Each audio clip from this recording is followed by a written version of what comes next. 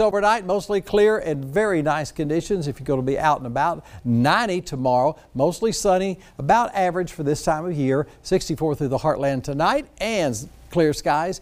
Partly sunny tomorrow through the heartland, 90 for a high temperature. Southeast winds only 5 miles an hour. Got a couple more days of uh, pretty nice temperatures, but look what happens on Friday into the weekend. We heat up in a hurry. 98 to 99 Friday through Sunday, still 96 on Monday, and uh, then we start tapering off just a bit for next week.